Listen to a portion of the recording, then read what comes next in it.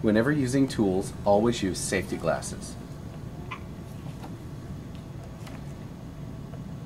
The Beadalon jump ring maker uh, comes in a kit with the ColourCraft wire twister. A handle and a mandrel is what's necessary for the jump ring maker.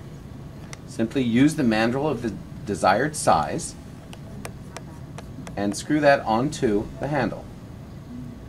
Then take whatever diameter of wire that you would like to make jump rings from and cut some of that wire off. Place one end of the wire through the hole in the handle of the jump ring maker. Bend that over so that it'll hold.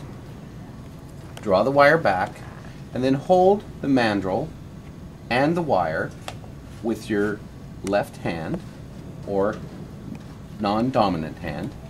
Then roll the wire over the mandrel with your right hand or dominant hand. This coil is making the jump rings. Once you've made this the amount of jump rings that you need, cut the coil from the mandrel and remove. When cutting the jump rings, it's good to use a very good flush cutter. Cut in one direction and then flip the flush cutter in the opposite direction and make a cut in the opposite direction. This will give you two flush cuts in the jump ring so that when you move the jump ring together, it will close nicely. Repeat the process to make the jump rings.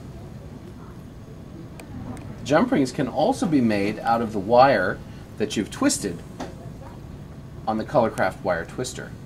These jump rings can make your designs a little more interesting with jump rings made of wire that has been work hardened by the twisting. The Beadalon jump ring maker.